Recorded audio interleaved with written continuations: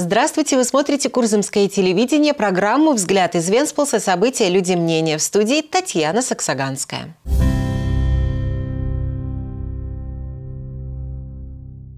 Сегодня в нашей программе мы расскажем о том, какая оригинальная выставка, связанная с модой 50-х, 80-х годов, откроется на следующей неделе в Венспилском музее.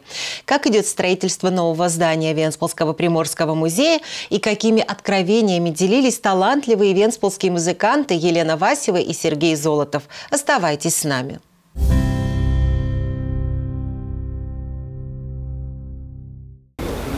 Несмотря на то, что при строительстве нового здания Венспасского Приморского музея пришлось поменять строительную компанию, из-за чего задержалось открытие, строители обещают работу закончить вовремя. Каждый, кто этим летом посещал Венспасский Приморский музей, пользовался дополнительным входом, так как центральный вход в музей закрыт.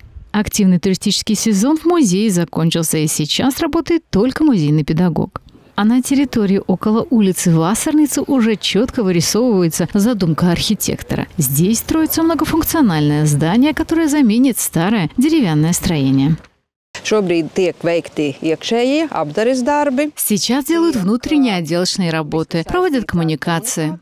Также делают дополнительные работы внешнего фасада. Работают различные бригады и много строителей, чтобы уложиться в сроки.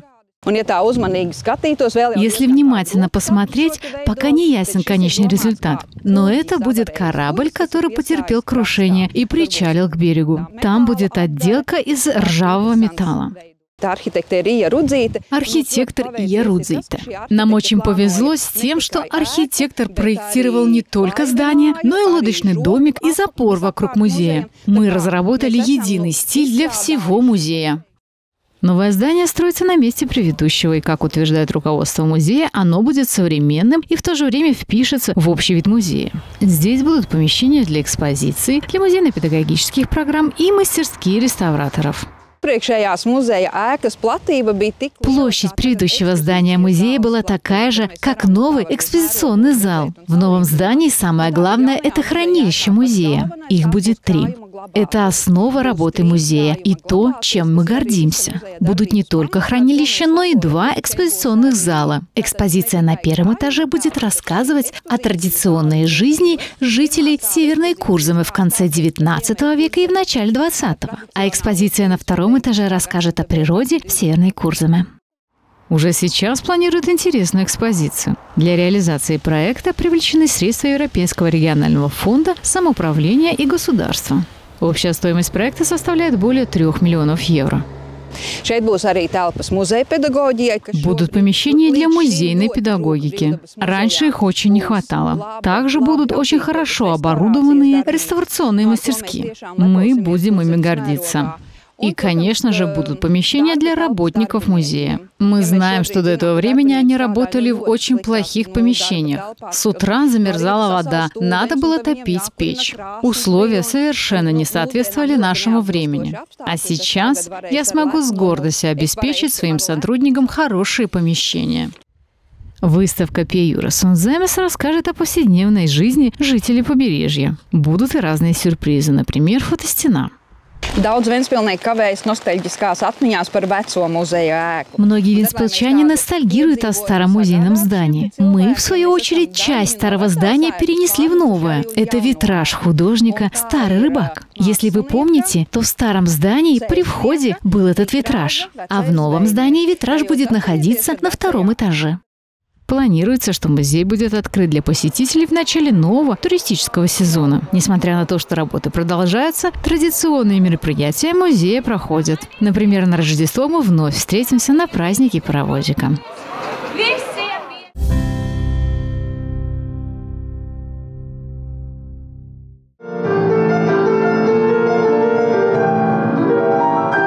На откровенный разговор пригласили зрителей венспилские музыканты Елена Васева и Сергей Золотов, так и назвав свой концерт «Откровение». Название родилось не случайно. Впервые оба музыканта представили на суд публики музыкальные композиции и песни, написанные ими лично. Песни Елена пишет уже давно. Правда, представить их публике решилась не сразу. В какой-то момент я подумала, а почему бы мне не показать кому-либо свои песни?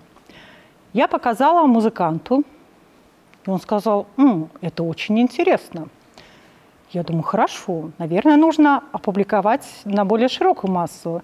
И во времена, когда мы все сидели дома, во времена коронавируса, в общем-то, э, творчески проявлять себя было негде. Я думаю, почему бы мне не снять видео своих песен?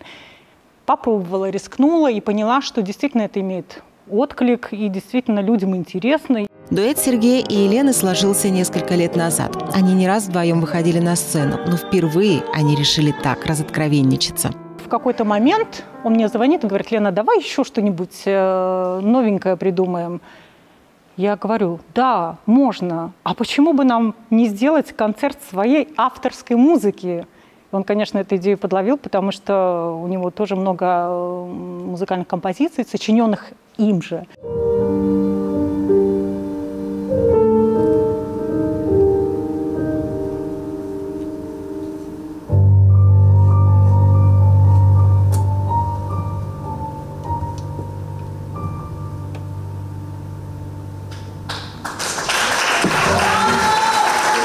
Овациями встречали каждую композицию, исполненную Сергеем Золотовым. Все произведения тонко отражали настроение музыкальной темы и переносили то в Париж, то в морскую прогулку или в прогулку под дождем. Сергей сочиняет музыку не только для себя. Он написал треки для фильмов, театральных постановок, пишет аранжировки для вокалистов, сочиняет музыку на чужие стихи.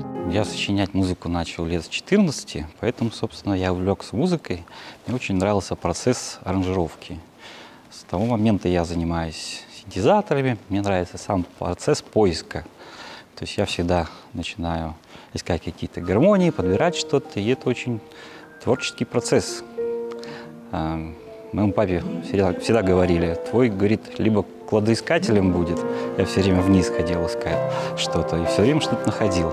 И когда я занялся музыкой, собственно, для меня открылся вот такой клад, где я, собственно, искал и до сих пор ищу что-то новое, и это очень увлекательный процесс. Главное во время концерта установить контакт со зрителем или слушателем. Выход на сцену не может носить характер монолога, считает Сергей. Музыка играет через тебя, ты передаешь эмоции и тексты зрителям, а зритель, в свою очередь, переносит свое видение этой музыки, и как бы существует такой диалог музыканта и зрителя. А когда еще ты являешься композитором, то это уже как бы тройной разговор. Ты передаешь образ, ты исполняешь этот образ, а слушатель, собственно, переживает свои впечатления, потому что у каждого своя история. Мне очень любопытно, как будет реагировать публика. А, конечно, волнительно, естественно, потому что ты как будто бы немножко приоткрываешь свою душу, на публику. И публика принимала очень тепло, с каждой песней все громче проявляя свои эмоции. С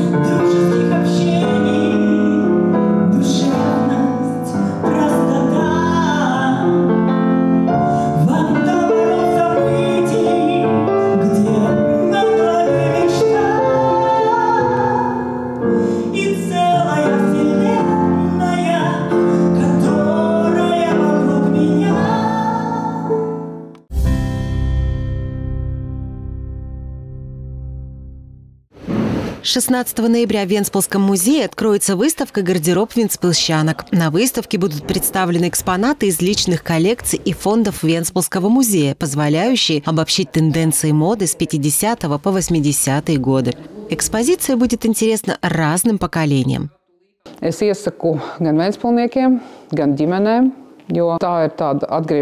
я советую винсполщанам посмотреть выставку. Это будет своего рода возвращение немного в прошлое столетие. Многие винсполщане, например, я, жили в той среде, видели все это, и нам есть что рассказать. Поэтому, отправляясь на выставку, можно взять с собой что-то того времени, что осталось от бабушки, например. И, может, есть возможность оставить свои воспоминания. Это очень ценно. Я бы охотно их использовала для проведения исследовательских работ со школьниками, чтобы они могли исследовать свой род, жизнь жизнь тех, кто рядом с ними, представителей старшего поколения, просматривая их альбомы, рассказы, записи. Не обязательно брать личность неизвестного человека. Они могут узнавать о своих знакомых, родных, например, о бабушках, дедушках. Им определенно есть что рассказать.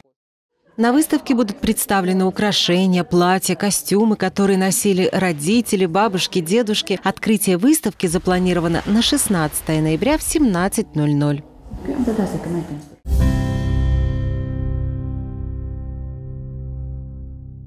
Это все события на сегодня. Я с вами прощаюсь. До новых встреч.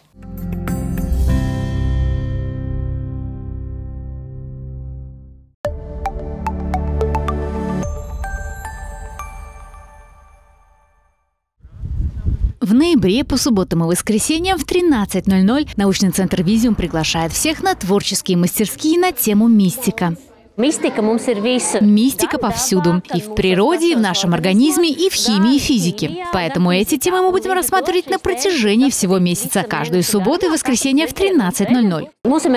Наша цель, чтобы занятия не повторялись. Есть семьи, которые приходят каждые выходные и хотят узнать что-то новое. И наша задача не повторяться. 11 и 12 ноября в мастерской «Тайны внутреннего мира» вы познакомитесь с анатомией человека. 18 и 19 ноября узнаем, какой магией обладает песок. Сделаем кинетический песок своими руками и проверим, может ли песок отталкивать воду. 25 и 26 ноября внимание уделят магии цвета. Новинка этого месяца – научное шоу «Лаборатория транспорта». Через научные эксперименты узнаем о безопасности на дорогах и правила дорожного движения.